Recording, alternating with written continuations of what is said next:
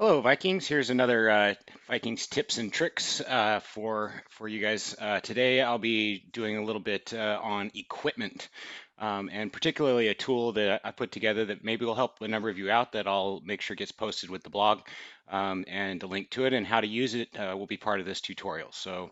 Uh, one of the things that um, most people have have questions about is, well, how do I make sure I have the right equipment for what I'm trying to do, whether it's attacking or defending or uh, building, learning, et cetera, et cetera. So uh, when you're when you're looking to build new equipment or, or fuse new equipment, most people are going to start over here uh, in the, the forge and start looking around and going, okay, I need building equipment. What's the best building equipment I can get? And you start scrolling up and down and then you're then you're comparing that against your armor and trying to figure out, okay, is the invader stuff better? What do I have here? What can I craft?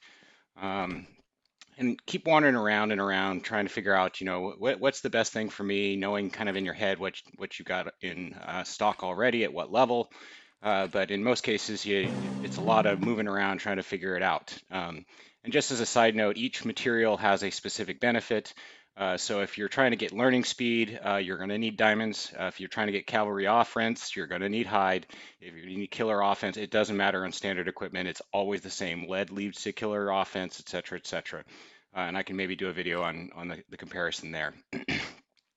but remember, you have six equipment slots. So when you're trying to do any one particular thing, whether it's building or learning, you want to try and balance around uh, that material. You can either uh, do one of two strategies, right? Uh, one is that you get the best possible piece of armor that does a particular thing, and then you round out your hero with other stuff so you don't have to keep changing your equipment out. Or you do lower levels while you have the material, such as diamond, um, and you spread it around because uh, when you upgrade a particular piece of uh, diamond, for example, going from uh, simple to unusual to usual to rare to epic to legendary, uh, each step up, you're chewing up four resources for not four times the amount of benefit. You're only getting two times the amount of benefit each time you go up. Uh, it's actually better in many cases to have six pieces of equipment that have learning on them at much lower levels uh, because you get the benefit of all those six pieces of equipment that have uh, those lower level percentages. Um, and you're you're not chewing up your diamonds uh, as, as quickly um, and you're not waiting forever and ever and ever to get that next benefit. So uh, one of the things I'm, I'm going to share with you guys, as you can kind of see here in the background behind uh, behind my Android uh, emulator, is some is some spreadsheets. Uh, in particular, I've documented every single one of these uh, pieces of equipment, whether it's standard, or um, uh, Invader, and I've put it all into a spreadsheet. And I'm gonna, uh, the link uh, should be available, and, and when you click on that link, you should see something like this from uh, Google, because these are all stored in, in Google Drive. So the first thing you're going to want to do is if you have a Gmail account, uh, if you don't, you might want to just create a false one uh, specific to your character. Uh, you would open this in Google Sheets so you can actually work with it. Uh, or if you have Microsoft Excel, uh, and I'll show you that piece as well, you can download it. So sheet one really is the important one. This has got all the different pieces of equipment. So I've already created, I've already done this open in Google Sheets, uh, and I can actually edit and work with this thing. So uh, this spreadsheet again has everything on it, all the way from Amulet 1 to Amulet 50, uh, as well as the percentage bonuses and what the bonus type is. Uh, and how you can use this sheet in Google Sheets is uh, pretty simple. You, you can say, you know, I just want to see uh, amulets, or let's say in this particular case, I want to see just boots. I'm only caring about boots right now because I want to know what the best possible boot is for, let's say, let's just clear them all and say building. We want, we want to know what the best stuff for building is. Actually, let's not not even filter it by boot. Let's uh, unfilter everything. Let's select all. Let's make sure that we just get building speed again. Clear. Building. Oops. Come on. There we go. Building speed. Okay. Now I'm going to go over here to the bonus amount, and I'm going to go Z to A, give me the largest to smallest. And we can see pretty quickly that the amulets uh, kind of rank out over here um, at the top of the, as they usually do with learning and building speed. But the Victor's bracelet is definitely by far, I want two Victor's bracelets on, on my arm when I'm trying to do some learning, or excuse me, some building. And then uh, at this point I go down, okay, what's the first helmet that I can get? Oh, that's 15. Uh, oh, but there's two that have 15. So this is where the spreadsheet actually comes in a little bit more handy than, than the Google Sheets. Uh, brown helmet and Canis mask because now I don't know what the other benefits are because they're the same. So which one is going to be the right one for me? Um, but as you can see, there's only one weapon in the standard arsenal that uh, is. Uh, is there only one weapon? I'll be darned.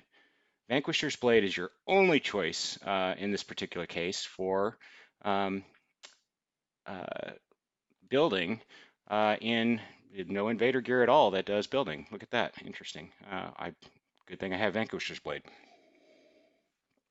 Okay, and then uh, you can kind of go down here and go, oh, the first boots is the Barbarian's boots at 12%, and we know that's invader gear because that's going to be tough to get all the way to legendary status. Uh, and then where's a helmet? Uh, you know, we already talked about the helmets, but these are these are comparisons. So uh, one, you can go over to sheet number two, uh, and you can try and find it in the, the list. Let's see if we can quickly find it. Uh, what was I looking for again? It was the brown helmet and Canis mask. Brown helmet and Canis mask. Should have been a little bit more prepared for this. This is why I don't like using the online version because I can't quickly do it. Canis mask and barbar. So here's a Canis mask, and we can kind of highlight that row and go, okay, what it, what is that? And this is pain in the butt, right? So we don't want to do that. So the other way we can do it is we unfilter everything and then we just filter on the equipment name and just filter on Canis Mask and uh, Vanquisher's Blade and we'll get to all the different things. But let's quickly jump over to the actual Excel version. Uh, and uh, so I downloaded this to my, my uh, Microsoft Excel. Um, and now I have uh, the same sheet, but I've created a pivot chart. Um, and if, for those that don't know how to create a pivot, you just hit Insert Pivot Table.